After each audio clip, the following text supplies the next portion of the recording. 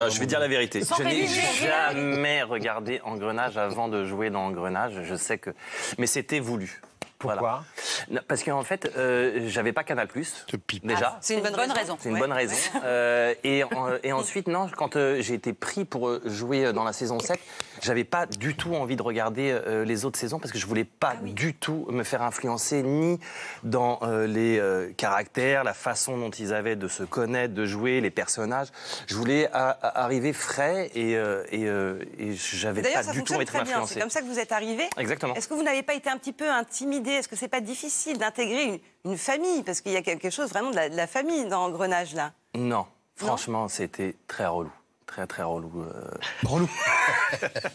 non, c'est- c'est c'est- c'est des gens formidables. Euh, c'est une famille, c'est vrai. Euh, quand, on, quand on arrive sur le plateau d'engrenage, on sait qu'on on intègre une famille.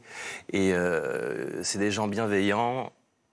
Non, c'était assez facile, en fait. Non, il y a un petit euh, bisutage euh, Ah oui, euh, que Thierry fait. C'est quoi?